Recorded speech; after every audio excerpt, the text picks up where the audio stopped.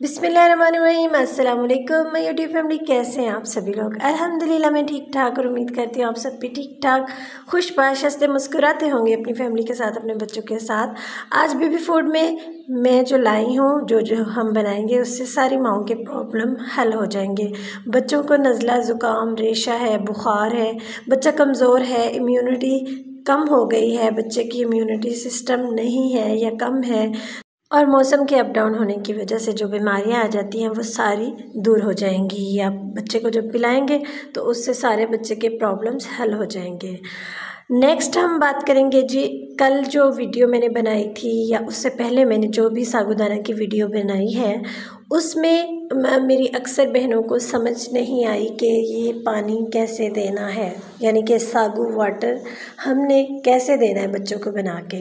तो आज उसके बारे में मैं आपके साथ शेयर करती हूँ। सबसे पहले तो मैं उसके बारे में आपको बताती जाऊँ कि आपने सागु दाना जो है ना सागुदाना आपने लेना है एक या दो चम्मच, उसको आपने बॉईल कर लेना है अच्छे से, ठीक है? उसको आपने बॉईल करके उसको आपने निकाल लेना है, निकाल के आपने अगर आपका बच्चा छोटा है फीडर पीता है तो उसी पानी में ना दूध बना के आपने दे देना बच्चे को, ठीक है?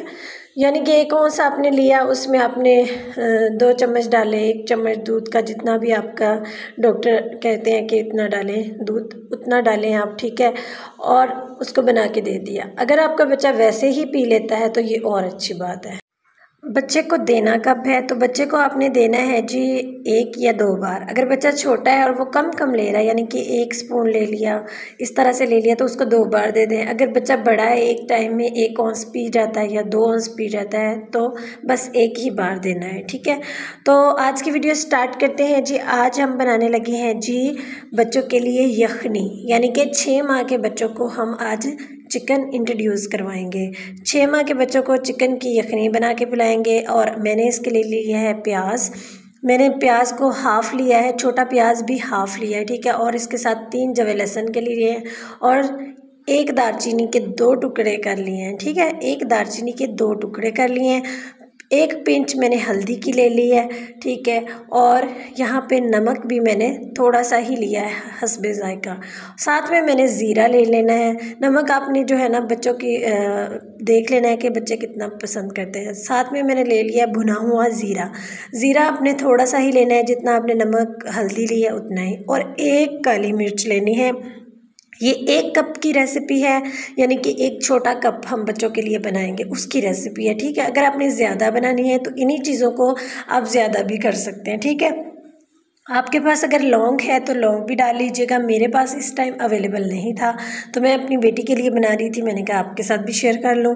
ठीक है, एक ही मैंने मिर्च डाली है क्योंकि बच्चों का गला ख़राब है तो हम उसको ज़्यादा मिर्च, ज़्यादा स्पाइसी क्योंकि गले में ना चुभे उसके तो इसलिए नहीं देते। साथ हमने एक चिकन का पीस लेना है। चिकन हमने हड्डी वाला लेना है बोन वाला लेना है। ठीक है विंग साइड ले लें, जो भी आपने लेनी है, उस तो हड्डी वाला गोश्त लेना है और ताकि जो है ना उसका असर ज़्यादा होता है, ठीक है? तो अभी हम इसको बनाना स्टार्ट करते हैं और क्यों बनानी है? क्योंकि मेरी बेटी को हुआ है फ्लू, क्योंकि यहाँ पे बारिश हो रही थी दो तीन दिन से और काफ़ी ठंड हो गई है तो इसकी वजह से उसको फ्लू हो गया। ठीक है, इसलिए मैं उसके लिए ये यखनी बना रही हूँ। बाकायदा डॉक्टर से कंसल्ट करके, बाकायदा डॉक्टर से पूछ के, जब हम चीज़ों का इस्तेमाल ज़्यादा कर देते हैं ना, तब हम जो है ना सही बच्चे को दे नहीं पाते। यानी कि अगर हम मुझे डॉक्टर ने जितनी अलाउ की है, उतनी ही देनी चाहिए, ज़्यादा या कम नहीं देनी चाहिए, ठीक है? तो यहाँ पे हमने एक पैन ले लिया। पैन में हमने अपनी ये सारी प्याज डाल दिया लहसुन डाल दिया और दालचीनी डाल दी और ज़ीरा डाल दिया, नमक डाल दिया, हल्दी डाल दी, ठीक है? इन सारी चीज़ों को आपने डाल देना है अच्छी तरह से और ज़्यादा चीज़ें नहीं डालनी क्योंकि बच्चे को हम ज़्यादा इंट्रोड्यूस करवा रहे हैं अभी, ठीक है? और ये हमने चिकन का एक पीस ले लिया चिकन का हड्डी वाला पीस ले लिया। इसमें हमने डाल देना है जी एक या डेढ़ ग्लास पानी। ज़्यादा नहीं डालेंगे क्योंकि हमने कम ही बनानी है, ठीक है? अगर आपने ज़्यादा बनानी है तो चीज़ें भी आपको ज़्यादा डालनी पड़ेंगी। तो मैंने यहाँ पे सिर्फ़ एक कप, यानी कि छोटा सा जो कप होता है ना, वो वाला बनाना है, ठीक है? तो ये बना देंगे और इसको हम रख देते हैं चूल्हे पर और ये अच्छी तरह से बॉयल हो जाए। जब हम चीज़ बच्चों को ज़्यादा मकदार में देना स्टार्ट करते हैं ना, तब बच्चे बीमार हो जाते हैं। या बच्चों को वो सूट नहीं करते या उसके साइड इफ़ेक्ट शुरू होने, शुरू हो जाते हैं। जब हम चीज़ बच्चों को इक्वल करके देंगे, बच्चों को जी इतनी सी देनी है, यानी कि अब मुझे डॉक्टर ने जो बताया कि आपने यखनी इतनी देनी है तो मैं भी आपके साथ बताऊँगी कि मैंने बच्चे को कितनी देनी है तो उतनी ही देनी है, उससे ज़्यादा या कम नहीं देनी। आपने ये यखनी बना के उसको दो से तीन दिन तो लाजमन देनी है, ताकि आपको पता चले आपके बच्चे को कोई चिकन से एलर्जी तो नहीं है, ठीक है? वो भी आपको पता चल जाएगी और इसका कोई साइड इफ़ेक्ट और होता है। वैसे होता तो नहीं है, लेकिन अगर होता है तो वो भी आपको पता चल जाएगा, ठीक है? तो हम बच्चे को इंट्रोड्यूस करवा रहे हैं। यहाँ पे हमारी यखनी जो है ना सूप यानी कि हमारा रेडी हो गया बेबी के लिए। ठीक है? अब हमने इतना ज़्यादा सूप तो बेबी को नहीं देना। ठीक? है यहाँ पे हमने ले लेना है एक बाउल और बाउल में हमने एडजस्ट करना है उसका सूप कि हमने उसको कितना पिलाना है। इसको हम छान लेते हैं, निकाल लेते हैं। ये बच्चों के लिए बहुत अच्छा होता है। बच्चों की इम्यूनिटी कम हो गई है, बीमार हुए हैं तो उनकी इम्यूनिटी कम हो गई है। तो उस इम्यूनिटी को ये बहाल करता है, रेशा ख़त्म करता है, बुखार ख़त्म करता है, नज़ला, ज़ुकाम ख़त्म करता है, ठीक है? तो अगर आप बच्चे को ऐसे भी बना के दें ना तो उसके लिए भी अच्छा है। ज़रूरी नहीं बच्चा बीमारी हो यहाँ पे हमने इसको छान लेना है अच्छे से, ताकि कोई ज़रा वगैरह बच्चे के गले में ना फंस जाए। सारा इसको हमने निकाल लिया अच्छे से पैन में, एक बाउल में, ठीक है। अब हमने ये देखना है, ये वाला मटेरियल आपने ज़ाया नहीं करना। अगर आपके बच्चे घर में और भी हैं तो आप उनको भी दे सकती हैं, ये बोटी वगैरह, ठीक है। उनको भी डाल के दे सकती हैं सूप में। लेकिन अगर आपके बच्चे नहीं हैं तो आप खुद खा लें, लेकिन ज़ाया नहीं करनी, ठीक है। अब ये हमारे पास यखनी तैयार हो गई है। अब सारी तो हमने नहीं पिलानी। कितनी पिलानी है, ये मैं आपको बताती हूँ कि आपने कितनी देनी है। मुझे जो डॉक्टर ने बताई है कि आपने बच्चे को सिर्फ़ दो चम्मच, ठीक है?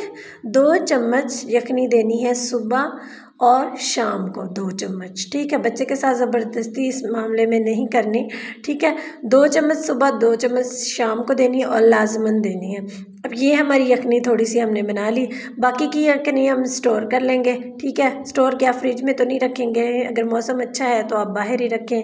अगर फ्रिज में रखनी है तो आपको निकाल के इसको दोबारा से बॉयल करके फिर देनी है, ठीक है? बॉयल करके नीम गर्म करके देनी है, ठीक है? अब ये दो चम्मच हमने बेबी का स्पून ले लिया।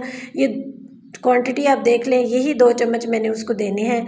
और चेक करने हैं, दो चम्मच सुबह, दो शाम को दे के चेक करना है। हमने तीन दिन के बच्चे को चिकन से एलर्जी तो नहीं है, बच्चे को सूट कर रहा है। वीडियो अच्छी लगे तो लाइक एंड शेयर कर दीजिएगा और मेरे चैनल का सब्सक्राइब करना मत भूलिएगा। मैं और मज़ीद वीडियो आपके साथ शेयर करती रहूँगी। ठीक है तो आपने इतना ही देना है क्योंकि छः माह का बच्चा है हमारा। अगर आपका बच्चा बड़ा है तो आप, यानी कि अगर आठ, नौ, दस माह का है तो आप चार चम्मच कर लें। ठीक है? ज़्यादा नहीं करनी। चार चम्मच शाम को अगर दस माह का बच्चा है तो आपने चार चम्मच सुबह, चार चम्मच शाम को देनी है। अल्लाह हाफिज़।